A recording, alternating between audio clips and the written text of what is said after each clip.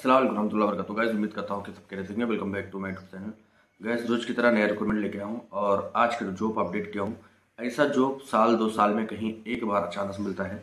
और इस जॉब को, ऐसा जॉब के लिए बहुत से बंदे स्पेशलिस्ट वेट करते हैं कि मतलब हमारे पास तो इंडिया में हर चीज़ सब कुछ ठीक ठाक है और मुझे इतना ज़रूरत नहीं कि मैं विदेश में जाऊँ फ़ॉरन में जॉब करूँ। लेकिन इस टाइप का अगर जॉब मिलता है तो ज़रूर एक टाइम जाने के लिए कोशिश करते हैं। और इस जॉब के लिए बहुत सारा मैसेज भी आ रहा था इंस्टाग्राम पे टिकटॉक पे टेलीग्राम पे और कमेंट भी करते हैं भाई लोग कि मतलब ऐसा कुछ जॉब रहा तो मुझे बताना। तो इस जॉब को आप लोग से रिक्वेस्ट है कि पूरा वीडियो अच्छे से देख लेना अगर इसमें जाना होगा। क्योंकि जो जॉब है, यहाँ पे काम करने के लिए बहुत नसीब वालों को मिलता है कि बहुत से बंदे सऊदी का अपना हर देश में वर्ल्ड में बहुत सारे पैसे वाले होते हैं, लेकिन यहाँ पे जाने के लिए बहुत नसीब वालों पहुँच पाते हैं, हर कोई नहीं पहुँच पाता है। तो अगर यहाँ पे आपको जॉब भी करना पड़े जो जॉब भी करना मिल जाए और जियारत भी करना मिल जाए, दो पैसे वहाँ से भी कमा सको तो कोई भी ऐसा जॉब को छोड़ता नहीं है, ठीक है? ये जो जॉब है अपना मक्का में जो मस्जिद अल हरम है, खाने काबा, वहाँ पे क्लीनिंग का काम है और मदीना शरीफ में जो मस्जिद अल हरम मस्जिद नबीवी जो है, वहाँ पे जो दो मस्जिद है यहाँ पे तो यहाँ इसके अंदर जो क्लीनिंग का काम होता है, आप लोग वीडियो वीडियो में बहुत सारे देखे होंगे, जो क्लीनिंग का काम करते हैं, ये काम है, ऐसा काम जल्दी आता नहीं है, ठीक है? और बहुत से कंपनी क्या करते हैं कि मतलब क्लीनिंग मस्जिद क्लीनिंग का ही लेके जाते हैं, लेकिन जैसा मक्का और मदीना एक सिटी है, ठीक है? तो वहाँ पे बहुत सारा मस्जिद होता है तो कहीं पे लगा देते हैं। तो ऐसा कुछ नहीं है। यहाँ पे जो आप जाओगे, या तो मस्जिद अल हरम में मक्का शरीफ खाने काबा में लगोगे, या तो मदीना सिटी के अंदर जो मस्जिद नबीवी है, वहाँ पे अंदर लगोगे। दोनों में, यानी कंपनी को जहाँ ज़रूरत पड़ेगा, वहाँ पे लगाएगा। जैसा आप ये बोलोगे, नहीं यार, मेरे को मदीना में ही रहना है, या मेरे को मक्का में रहना है। तो ऐसा कुछ नहीं है, आपके ऊपर नहीं चलेगा। कंपनी की जहाँ ज़रूरत पड़ेगा, वहाँ आपको ट्रांसफ़र करेगा और वहाँ ही रहना पड़ेगा, या दोनों जगह में कहीं पर भी। तो इसी के बारे में हम बात करेंगे, बस आप लोग से रिक्वेस्ट है कि वीडियो पहले अच्छे से देख लेना। बहुत से बंदे क्या करते हैं कि जॉब अगर उनके समझ में आ गया अच्छा से देखे तो नंबर होता है स्टाफ लोग का तो लोग फ़ोन करना शुरू कर देते हैं। इसी चीज़ के लिए पूछने के लिए कि काम है कि नहीं है मैसेज करेंगे बार बार वो इंतज़ार करते रहेंगे। जब तक उनको सारा चीज़ समझ में आ जाएगा डॉक्यूमेंट भेजते हैं वैकेंसी खत्म हो जाता है।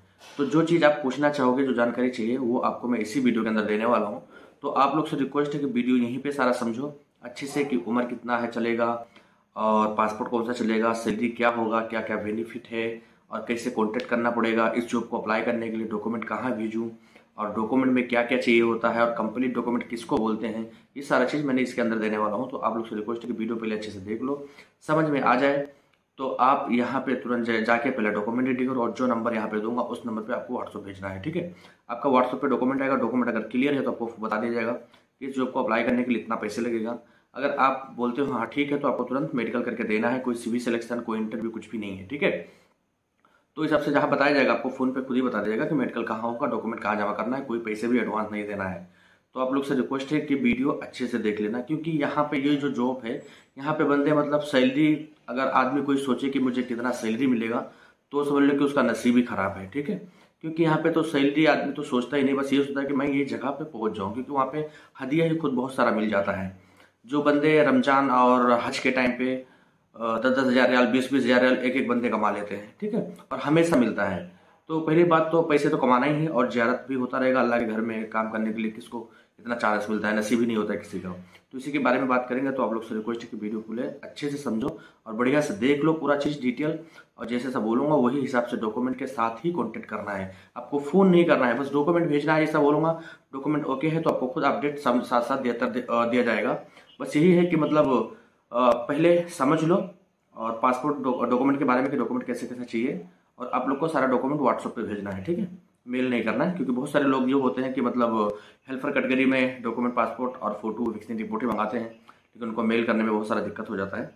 तो इसके लिए इसका जो वैकेंसी आपको व्हाट्सअप ही करना है, लेकिन व्हाट्सअप पे फ़ोन नहीं करना है डॉक्यूमेंट जैसा बोलूँगा डॉक्यूमेंट के साथ में मैसेज करना है, ठीक है?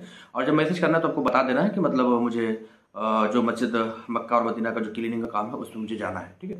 तो वीडियो करते हैं अभी स्टार्ट जो सऊदी के अंदर, सऊदी में जो मदीना सिटी और मक्का सिटी है, जो मस्जिद अलहराम खान काबा और मस्जिद अल नबीवी, मदीना सिटी के अंदर जो है, इसके अंदर का मतलब क्लीनिंग का काम है। आप लोग अगर देखना चाहोगे तो गूगल पे मारोगे क्लीनिंग का, मस्जिद हरम का तो आपको सारा वीडियो और फ़ोटो के साथ में आपको डिस्प्ले पे आ जाएगा, आप देख सकते हो कि उसमें क्या काम होता है। कोई मेहनत का काम नहीं होता, सब पूरा अंदर मशीन सिस्टम है, ठीक है? हर नमाज़ के बाद में क्लीनिंग किया जाता है। तो इसके अंदर जो रिक्वायरमेंट है, वो मुस्लिम बंदे ही अप्लाई कर सकते हैं। आपका पासपोर्ट एसीआर और ए दोनों चलेगा। यानी एसीआर और ए सी आर मार्कशीट, बगैर मार्कशीट का बनाए, जो भी अप्लाई कर सकते हो, मार्कशीट लगा है जो भी अप्लाई कर सकते हो। और आपका उम्र लास्ट थर्टी फाइव तक चलेगा, ठीक है? थर्टी फाइव तक उम्र मांगा हुआ है कंपनी ने। और इसके अंदर जो सैलरी है, आठ सौ रियाल सैलरी है बेसिक सैलरी वो आठ सौ रियाल है। और उसके बाद में दो सौ रियाल आपको खाने के लिए देगा, ठीक है? आठ सौ रियाल बेसिक सैलरी दो सौ रियाल खाने का मिलेगा। हफ़्ते दिन एक छुट्टी होगा। बाकी का कंपनी रूम इकामा मेडिकल कार्ड इंश्योरेंस ये सारी फैसिलिटी आपको देगी और बाकी का दो साल का एग्रीमेंट होगा। कोई मतलब एक वीज़ा होता है जो शटडाउन वाला तो ये शटडाउन नहीं है कि मतलब हज उम्र के टाइम पे काम है, उसके बाद आपको भेज देगा। ये कंटिन्यू जो वहाँ पे बंदे काम करते हैं, जो वर्क परमिट बोलते हैं, वो वीज़ा है। आपको हमेशा काम करना है इसके अंदर, ठीक है? दो साल पे आपको छुट्टी आने जाने का मिलेगा टिकट कंपनी की तरफ़ से। और अगर नहीं भी आते हैं तो कंपनी दो साल के बाद आपको पैसे दे देता है। बहुत से बंदे तीन साल, चार साल लगा के आते हैं ना, ऐसा मतलब। और इसके अंदर तो आपको सैलरी का देख के जाओगे कि यार सैलरी तो बहुत कम है और बीच में क्या खाएँगे, क्या बचाएँगे तो ये समझ लो कि बेकार की बात है, इसमें सैलरी तो आदमी सोचे ही नहीं, क्योंकि इसके अंदर हदिया बहुत सारा मिलता है। अब आप सोचते हैं कि हदिया क्या होता है, कैसे मिलता है? जैसा हम लोग मतलब जो उम्र हज करने जाता है तो नॉर्मली बंदे तो जाते नहीं, जो बहुत सारे पैसे वाले होते वही जाते हैं। तो वहाँ पर अल्लाह के घर में जाते हैं जात करने के लिए तो जो काम करने वाले होते हैं, उनको हदिया देते हैं, सौ रियाल, बीस रियाल, जो भी कंट्री के बंदे होते हैं, वहाँ का पैसे दे देते हैं। तो उनको हदिया में बहुत सारा पैसे मिल जाता है, ऐसे ही बहुत सारा पैसे मिल जाता है मेरे भाई। रमज़ान में अगर आपका कोई जानने वाला है तो आप वहाँ पे पता भी कर सकते हो कि वो लोग कितना पैसे कमाते हैं। क्योंकि मेरे बहुत सारे दोस्त लोग को मैंने भेजा हुआ हूँ, और प्रेजेंट टाइम में मतलब मक्का में ही रहता हूँ, अभी इंडिया में हूँ फ़िलहाल। तो वहाँ पे बहुत सारा मतलब मेरे जानने वाले हैं, और मैं बहुत सारे को जॉब भी दिलाया हूँ वहाँ पे। तो यहाँ अच्छा खासा मतलब सैलरी मिल जाता है हादिया की वजह से। इसके अंदर उम्र अपना रमज़ान शरीफ में कम से कम एक एक बंदे दस दस हज़ार, बीस बीस हज़ार रियाल कमा लेते हैं, ठीक है? तो इसमें तो बस बहुत से मतलब सोचते हैं, जो सोचने वाले यही है कि अगर उनके दिमाग में ये सोच आता है कि यार यहाँ जाएँगे तो सैलरी कम है, इसमें मैं क्या क्या खाऊँगा, क्या बचाऊँगा तो आप ये मान के चलो आपका नसीब बहुत ख़राब है, यानी आप यह इस लायक नहीं है, यहाँ पे जाने लायक आप नहीं हैं, इसकी वजह से आपके दिमाग में ऐसा ऐसा ख्याल आता है। तो बाकी का अल्लाह खैर करे, अगर आप लोग केस में जाना है तो इस जॉब को अप्लाई करने के लिए यहाँ पे जो नंबर दिया हूँ, इस नंबर पे आपको फ़ोन नहीं करना है, एकदम से फ़ोन फ़ोन करके सारा चीज़, कोई चीज़ पूछना नहीं है।